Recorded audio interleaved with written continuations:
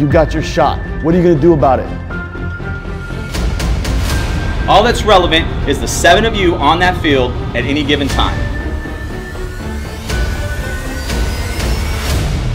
You've been waiting so long to play this game. Hodgin, backed by Palmer. We're going to war because we're not here just to win. We're here to dominate. We're here to take that number one spot. One-handed interception by Salazar. Everybody is giving their blood, sweat, and tears. Right now, this is our time. Believe in yourself. Believe in each other. Angel falling to the ground, finds a receiver, touchdown. Are you sure she's 19 and a rookie? She looks like a 10-year vet. You've given your heart and soul, so why not give it your heart and soul when you go out there?